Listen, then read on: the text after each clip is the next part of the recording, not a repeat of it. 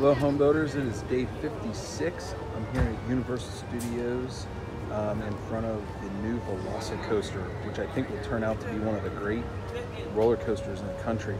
Um, it's not open yet, unfortunately, so we didn't get to ride it.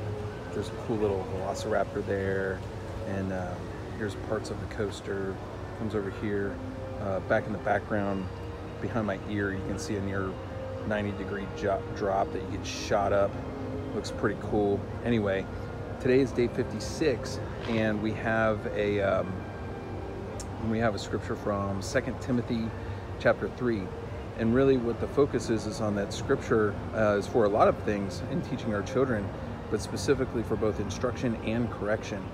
And the reminder from uh, the writer is not to get sucked into being either the one that is just correcting every little nitpicky thing all of the time, um, you know, the one coming down with the hammer all of the time, or the one that, you know, doesn't want the unpleasant conflict that comes with correction and instead prefers to, you know, always play the good cop and never the bad cop.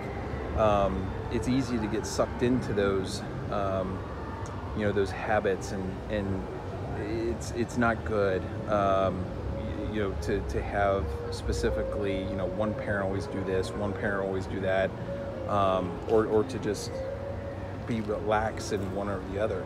You know, you can be correcting all of the time, but are you giving the instruction um, that needs to come with it? You can be um, instructing all of the time, and but if those that instruction gets ignored, um, correction needs to come as well. So, those are some things to think about, and one thing I'm reminded of when I was thinking about this is Keith does a really good job of, of teaching about how not only do we need to not be one or the other all the time, but we need to understand that um, our kids individually will accept instruction and correction um, really, really um, differently. Um, looks like we got a test run coming here with an empty car. Wish I could get a ride on that thing. Really wish I could get a ride on that thing. Um, pretty cool.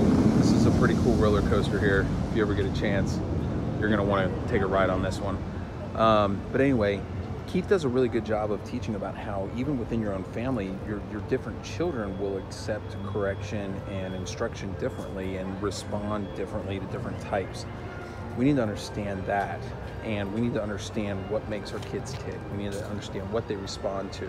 We need to understand what is the most effective way to get a message across and uh, to be able to teach them God's word. So let's keep that in mind and be working on those things.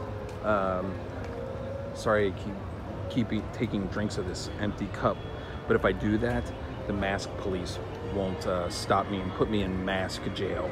So anyway, have a great day today. Um, I'm actually in town by the time you see this video, just recorded it a little early. So hope everything is going well with everybody and I'll talk to you soon. Love you. Bye.